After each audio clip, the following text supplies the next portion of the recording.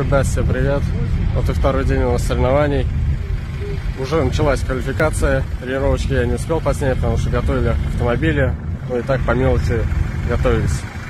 И квалификация у нас уже началась. Да, по Коляну видно, как она началась.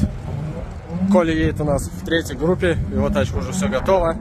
Виталик тоже едет в третьей группе. Ну а Саша у нас взял запасной автомобиль, так как э, во время тренировок на четверке немножечко ушатали подвеску и решили ехать на запасной тачке.